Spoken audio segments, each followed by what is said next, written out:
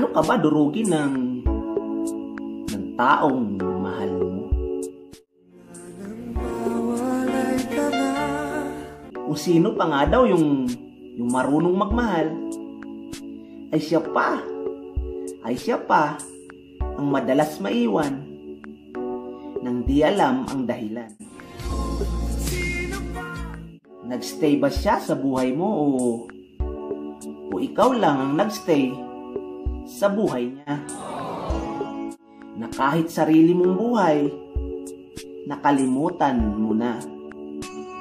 Dahil, dahil sa kakahabol sa kanya, na sa simula pa lang ay, ay alam mo na na, na di kanya minahal, na di kanya minahal ng gusto. Sa una, ginawa kanyang camera. Dahil ikaw daw, dahil ikaw daw ang nagpapangiti sa kanya. Na siya rin pala, na siya rin pala ang ang magpapalabo ng gusto sa buhay mo. Ginawa ka rin niyang baril. Dahil daw, dahil handa raw siyang mamatay para sa iyo. Yun pala, siya ang magiging baril para matira ka. Nang matira ka na, bigla na siyang naglaho. Bigla na siyang naglaho na nasingbilis ng bala.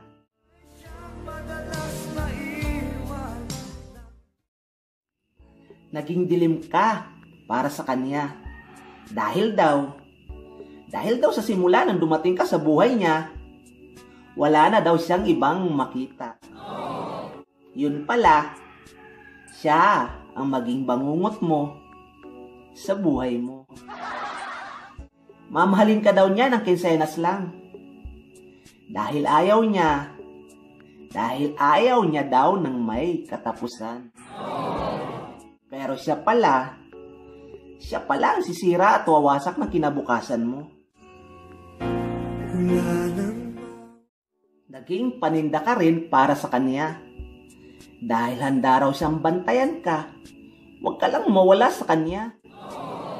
Pero nung magsawa na siya sa'yo, ginawa ka na lang niyang bargain para mabilis kang mawala at makalaya na siya sa makalaya na siya sa iyo ng tuluyan. Siya daw ang magiging panyo mo. Para pag naalala mo daw ang ex mo at mapaiyak ka, siya daw ang papahid ng mga luha mo.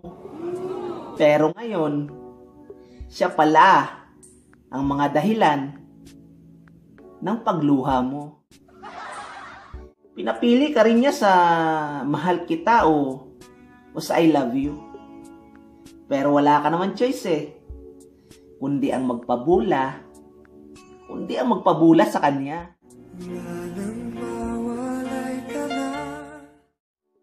Ang sakit, sakit, di ba?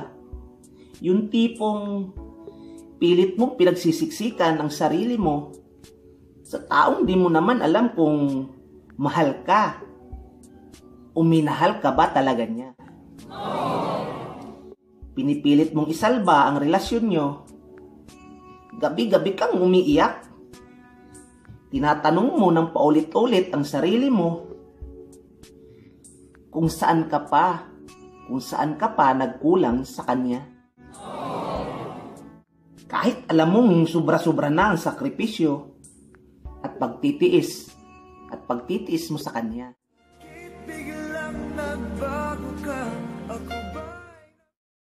Wala ka naman talagang halaga sa sa taong pinahalagahan mo ng gusto. Ika nga, full-time ka sa kanya, siya naman part-time sa'yo. Part-time na nga lang, lagi pang undertime. Huwag kang bigay ng bigay. Huwag mong hayaan, huwag mong hayaan na gamitin ka. Pahalagahan mo ang sarili mo. Bago mo sayangin ang pagmamahal mo sa maling tao, mahalin mo muna ang sarili mo. Ang sarap-sarap naman talaga. Sarap-sarap naman talaga sa pakiramdam na may, ka, may kahawak kamay ka. May tagahatid sundo ka. Pagmumukha mo ang naka-wallpaper sa phone niya. Masarap sa pakiramdam na may nagte-text sa'yo. Kinakamusta ka? Tinatanong kung kumain ka na. Yung tipong babatiin ka ng good morning sa sa alas 12 o no ng madaling araw. Sobrang nakakakilig. Sobrang nakakakilig naman talaga. Pero, pero, bago ka mapaihi sa kilig, isipin mo muna ang sarili mo bago yung kayo. Nakikita mo kasi ang sarili mo na siya na yung kasama mo sa buhay. Na kahit alam mong unti-unti na siyang lumalayo sa'yo.